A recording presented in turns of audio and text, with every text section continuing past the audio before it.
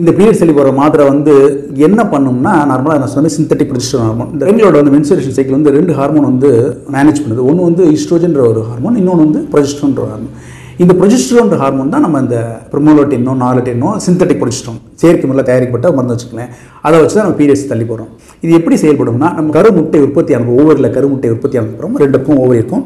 உற்பத்தி ஆனதுக்கப்புறம் கருப்பப்பை சுவர் இருக்கும் மேலே. அந்த சுவரில் வந்து இந்த கருமுட்டை வந்து உட்காரும் ஃபோர்டீன்த் டே ஆஃப் சைக்கிள் வந்து தான் ஓவலேஷன் டே அன்றைக்கி தான் அந்த ரெடியாக கருமுட்டை ரெடியாக நிற்கும் அப்போ விந்து உள்ளே வந்ததுன்னா கன்செப்ஷன் ஆகி அது கருவாக உருவாகி கர்ப்பமாக உருவாகும். இதுதான் நார்மலாக இருக்கக்கூடியது. இப்போ கர்ப்பம் உருவாகலை விந்து வரலைன்னா விந்துக்கும் முட்டைக்கும் கான்டாக்ட் நடக்கலைன்னா இந்த சுவரில் படிந்திருக்கக்கூடிய இந்த கருமுட்டை வந்து உடஞ்சி வெளியில் வர்றது தான் இந்த மென்சஸ் பீரியட்னு சொல்கிறது ஸோ வெளியில் வரும்போது பார்த்திங்கன்னா இந்த ப்ரொஜெஸ்டரான் ஹார்மோன் வந்து கம்மியாயிரும். எப்போ கம்மியாகும்னா எப்போ மின்சர் ஸ்பீடு உங்களுக்கு ஸ்டார்ட் ஆகுதோ அப்போ இந்த ப்ரொஃபஷனல் லெவல் கம்மியாகும்.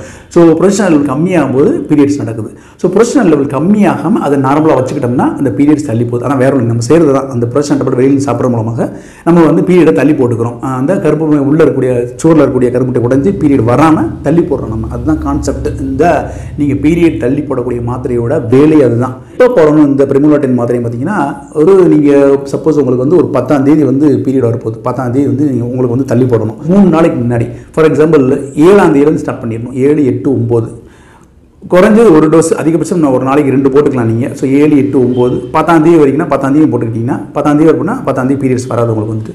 ஸோ நீங்கள் எப்போ நிப்பாட்டிலோ நிப்பாட்டிலேருந்து மூணுலேருந்து அஞ்சு நாள் கழிச்சு உங்களுக்கு பீரியட் வரும். நிப்பாட்டின அடுத்த நாள் பீரியட் வரும்னு சொல்ல முடியாது. பதிமூணுலேருந்து பதினஞ்சாம் தேதிக்குள்ள வந்து உங்களுக்கு திருப்பி உங்களுக்கு பீரியட்ஸ் நார்மலாக வரலாம்.